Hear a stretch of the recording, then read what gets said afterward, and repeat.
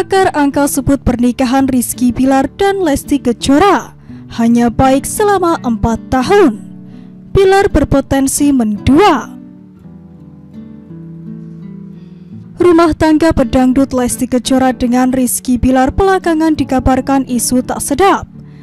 Pasalnya disebut-sebut adanya kehadiran pihak ketiga dalam rumah tangga Rizky Bilar dan Lesti Kejora. Perihal itu akhirnya keduanya buka suara. Menurut Lesti Kejora, tak ada yang perlu ditakutkan. Mengingat begitulah kehidupan yang dijalani seorang publik figur, selalu dibarengi dengan isu-isu miring yang belum tentu kebenarannya. Kan industri hiburan, jangan baper-baperlah ucap Lesti Kejora dilansir melalui status selebritis pada 12 September 2022 lalu. Sejak awal memang banyak yang menduga bahwa rumah tangga pasangan artis itu berpotensi tak akan bertahan lama dan diduga akan retak lantaran adanya pihak ketiga. Lantas benarkah tanda-tanda keretakan itu sudah mulai terlihat? Atau benarkah Lesti tak mengapa jika dimadu oleh sang suami? Ternyata Lesti Kejora pernah belak-belakan menyebut bersedia mengizinkan jika suatu saat akan dipoligami. Saat Rizky Bilar mengatakan ogah menikah lagi, Lesti mengucapkan tidak apa-apa. Kalau itu poligami saya sih lebih ke oh iya, ucapnya. Ia juga mengaku tak takut jika Rizky Bilar akan berpindah ke lain hati lantaran mengingat pekerjaannya yang selalu dipertemukan dengan banyak wanita cantik.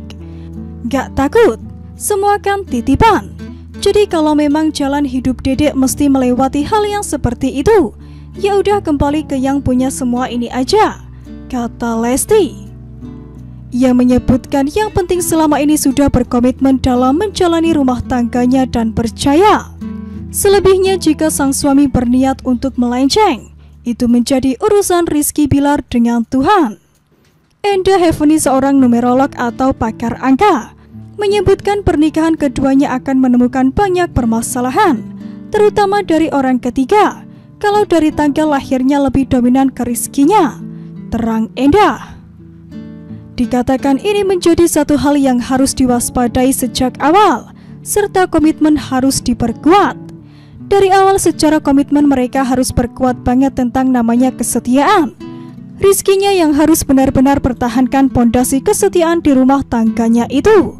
Sambungnya lagi, dikatakan di empat tahun awal pernikahan mereka secara rezeki sangat bagus, tetapi secara hubungan mereka dirasa tidak akan berjalan bagus. Di empat tahun awal pernikahan mereka secara rezeki bagus, tapi kalau secara hubungan mereka itu saya rasa nggak begitu bagus banget. Terangnya kala itu.